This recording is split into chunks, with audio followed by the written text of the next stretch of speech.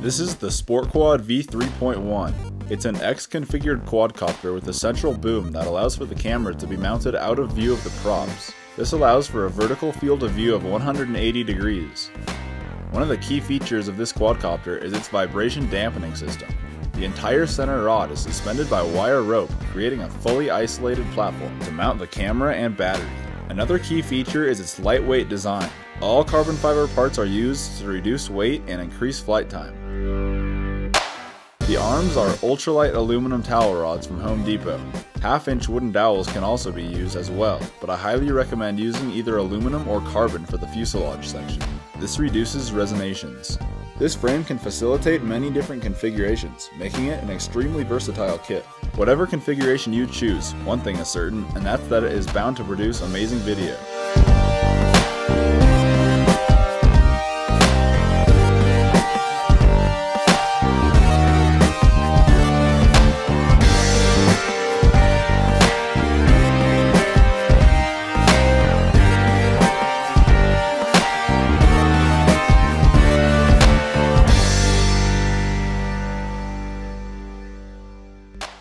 With this setup in particular, I'm using the Hummer brushless gimbal and a 500mW 2.4 GHz transmitter for FPV. For stabilization, it's running the DJI NAZA with Dragon Link for control.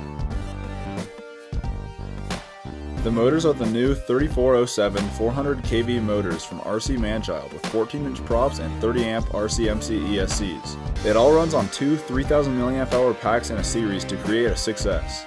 With these batteries, I'm getting about 15 minutes of flight time and with two additional batteries, I can easily get 20 minutes. It's an extremely efficient configuration.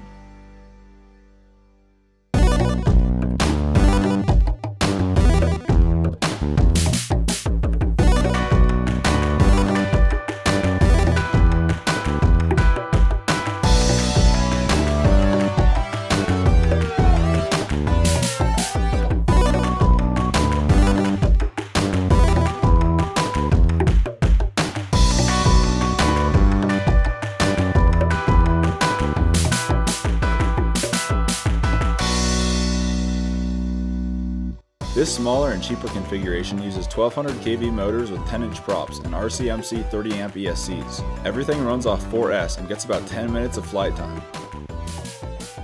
A hacked up T2D gimbal is on the front with an Alexmos board. It uses 2.4 GHz for control and 5.8 for video.